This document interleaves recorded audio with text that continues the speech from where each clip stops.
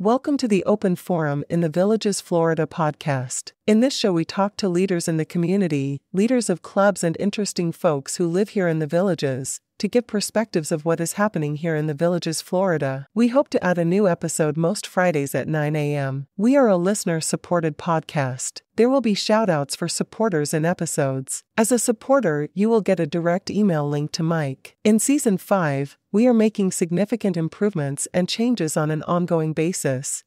How can you support our podcast?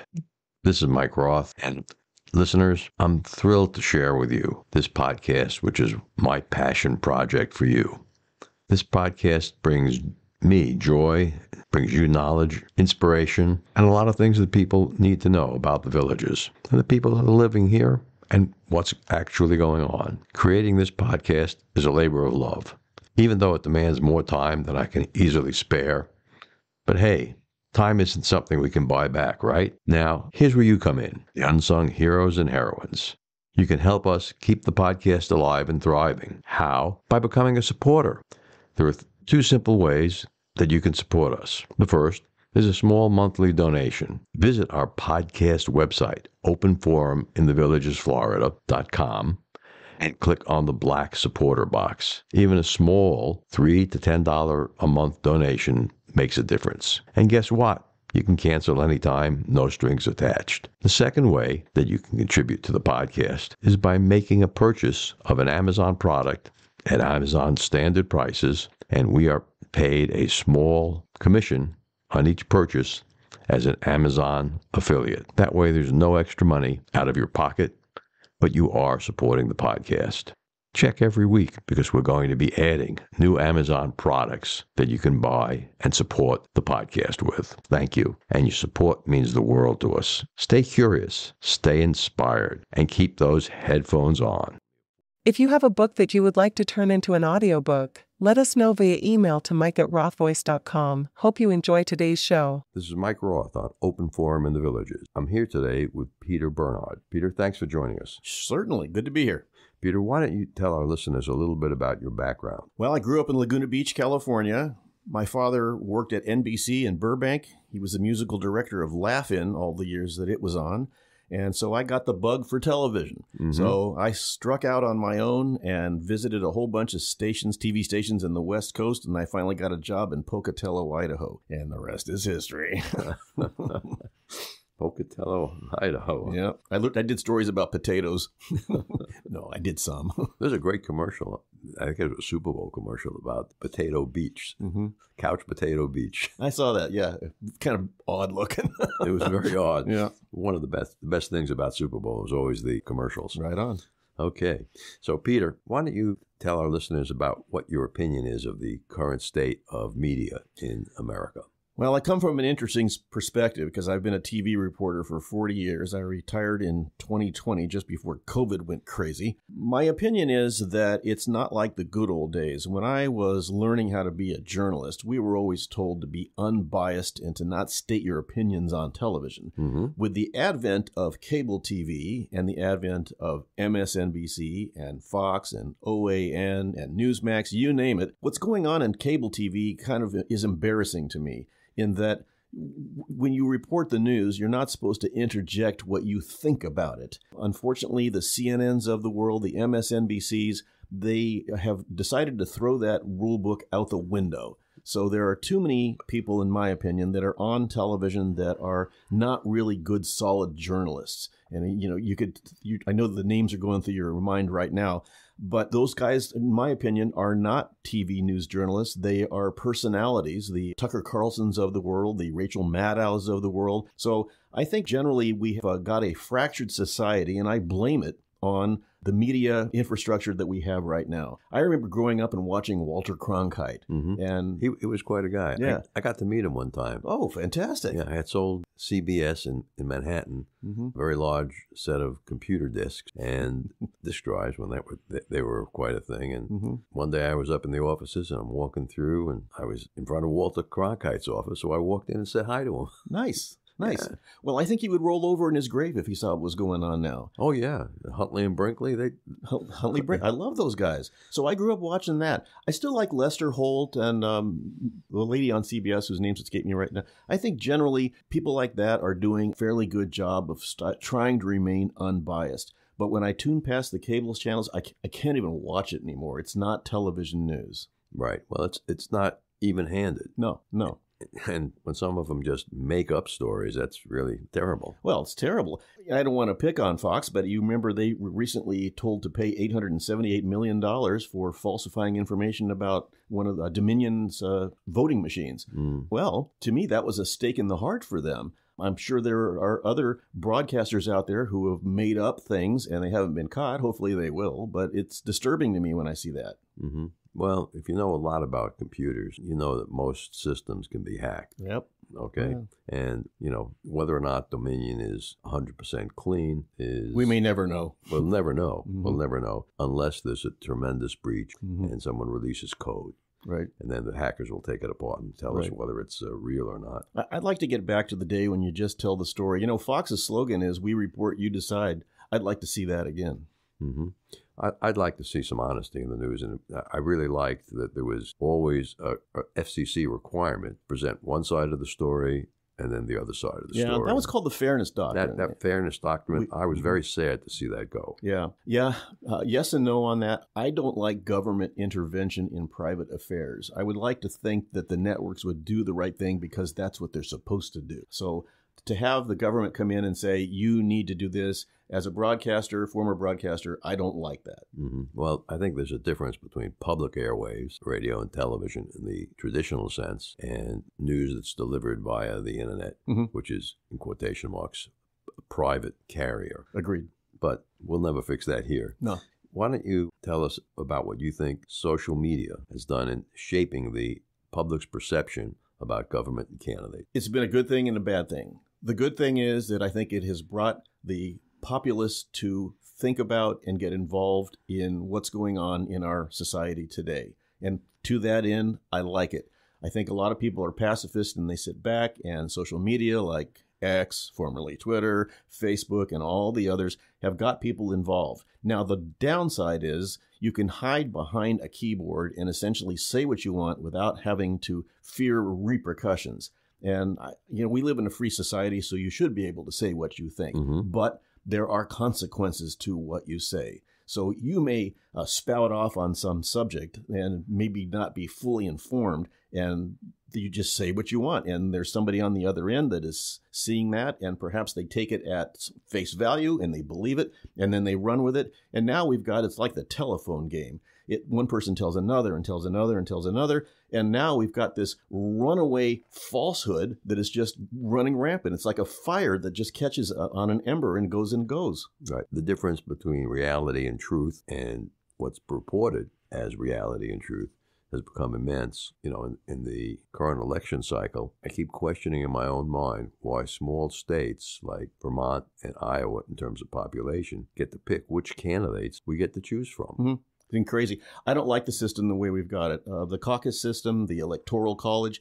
If, if if Peter Bernard was king for a day, I'd throw it all out. Hmm I, I would make every primary in America on the same day at essentially the same time so that the people could pick which candidates were going to go on and be running for president or vice president. I like that, Mike. I'd take it one step further. I think the party system needs to go. Um, uh, without stating my opinions on the way things are, um, I think it's not correct that I have to pick either being a Republican or a Democrat. I know you can be independent also, but um, there are things that the Republicans say and do that I that I, I raise my hand and say, right on, right on. There's things that the Democrats say and do that I go, you know what? I agree with you on that. Why can't I just be a little bit of both? I have to pick a side. I don't get it. Well, the deeper problem is that we in Congress we don't and the Senate we don't have term limits. You know, Yeah. we should have term limits for them, and we should have term limits for even the Supreme Court. Here, here. You know, whether it's twenty years or twenty-five years, Mhm. uh, that's long enough. I agree. I agree. Even the local people have term limits. You can't be uh, a mayor in some towns for more than maybe one or two terms. The president can serve two four-year terms. That sounds pretty good, but in Congress they don't. The reason is because they vote on, they vote themselves on what it's going to be. They have their own health care plan, hmm but not every American has a health care And plan. it's nowhere near as good as theirs. Well, right, and it's lifetime. You Mhm. serve one uh, term, and you've got care for life, health care for life. What a gig! What a gig. I don't know. We have to change the political system Here, here. and put term limits on. And I think we need to allow the populace, the entire population of the country, pick which candidates are actually running. How about this as a concept, Mike? The person who gets the most vote votes wins. Period. Who cares? Throw out the electoral college. I understand when the when the uh, nation was young, there was concern about the larger states having too much of a say. Well, I think how about just have a a, a vote nationally, and whoever gets gets the most votes wins. Period. Hmm. That that raises other questions so I, that I don't want to touch. But knowing at least one person who has served in the Oriel College, Electoral, yes.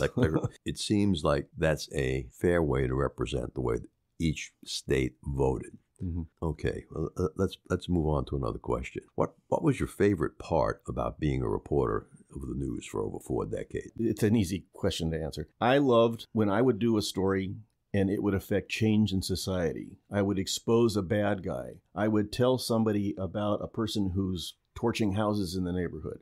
Mhm. I loved being the guy on the top of the mountain saying, Hey, folks, you need to watch out for this. Mhm. And people did. And then it was great satisfaction when I helped law enforcement put someone in jail. Maybe I showed their mug and then somebody said, Hey, that's John. He lives next door. I know that guy. Mhm. Or maybe there's a bad guy. If there's a thing that goes around that's called skimmers that they put on gas station pumps and they'll steal your, yeah. steal your credit card. Yeah. I did numerous stories on that. And I loved when I could say, hey, folks, give it a good shake, give it a good once over, and maybe you'll get saved from getting your credit card skimmed. You know, it's a minor, it's a microcosm.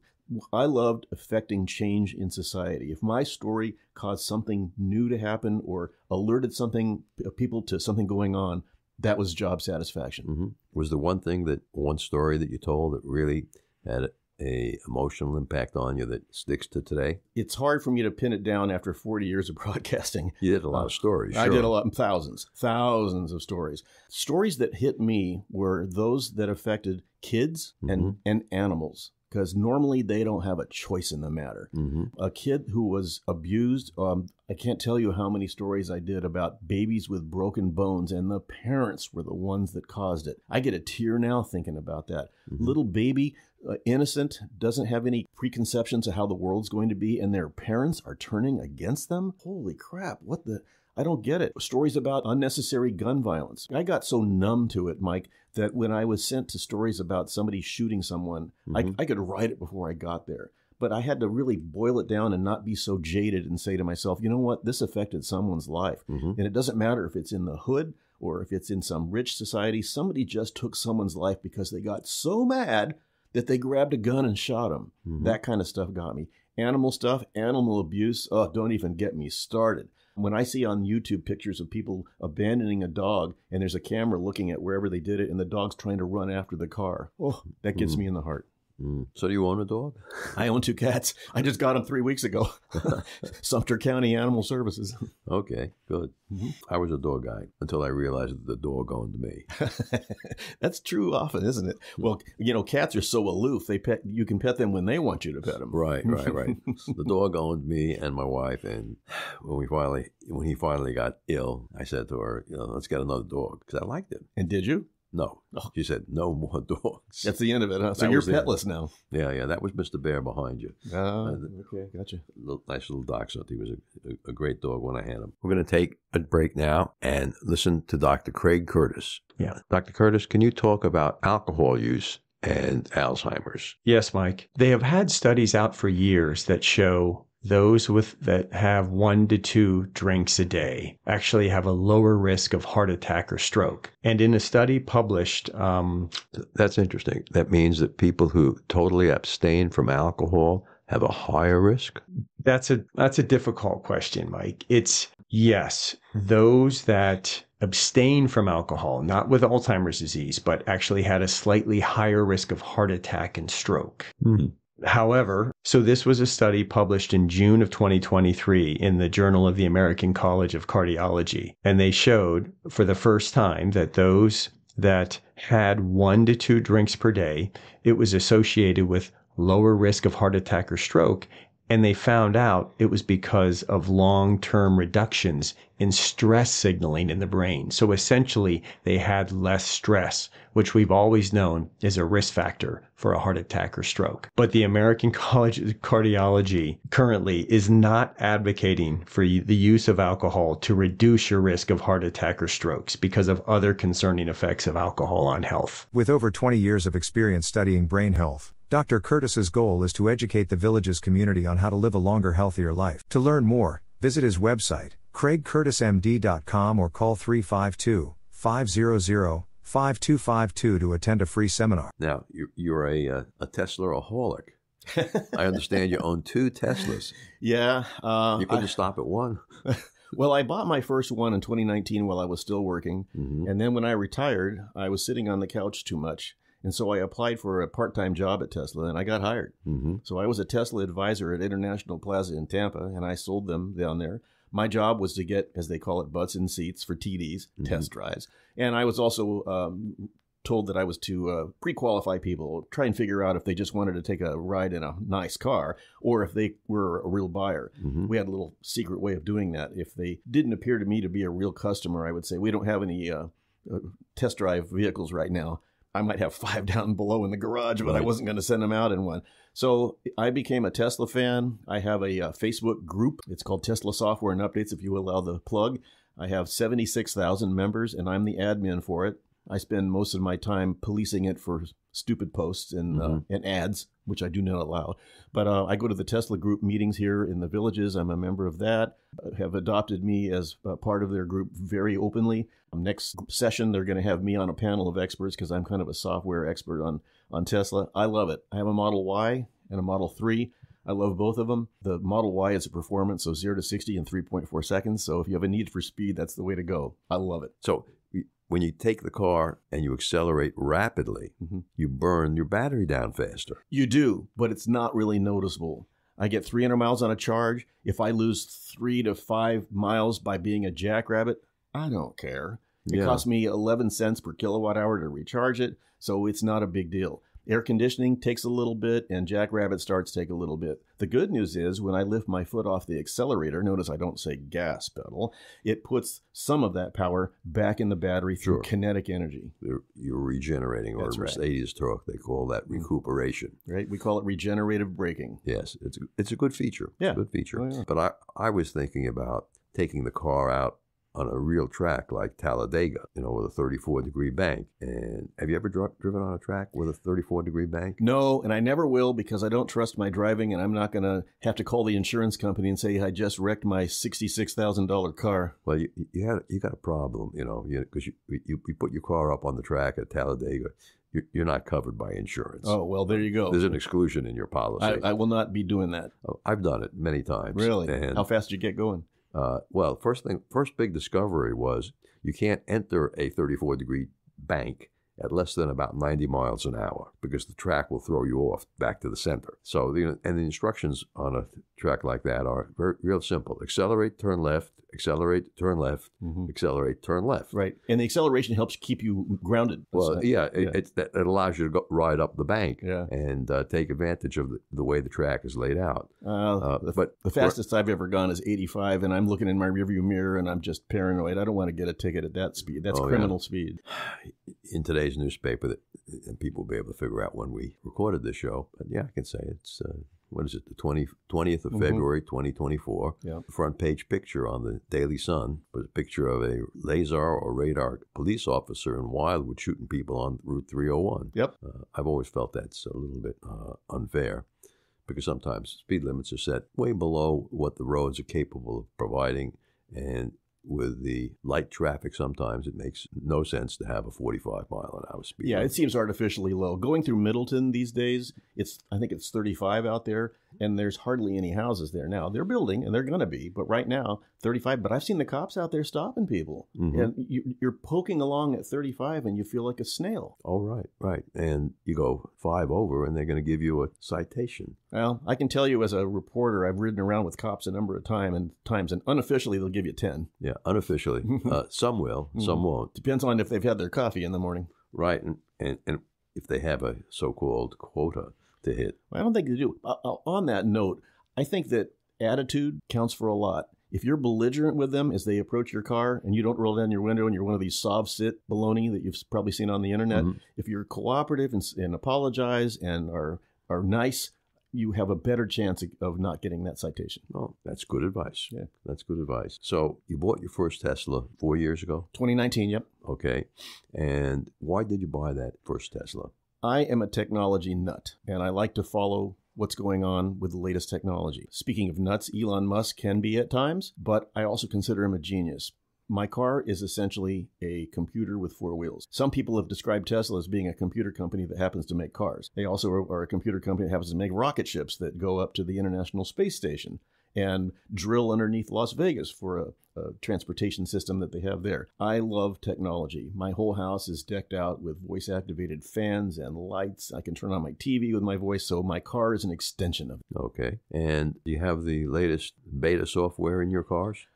Well, it's all beta software. The full self driving is definitely a beta program, and they tell you that when you download it. I do not have full self driving in my car. That's a $12,000 option. I didn't think it was worth it. I have the auto steer, autopilot that I have in my car, Mhm. and I use it a lot, especially on I 75 when I visit um, friends down in Pinellas County. It takes a lot of the fatigue out of driving. You have to babysit it, you have to keep your hand on the wheel at all times, but I love the fact that if something crazy happens, and my computer will react faster than I can. And I've Mhm. seen it happen time and time again.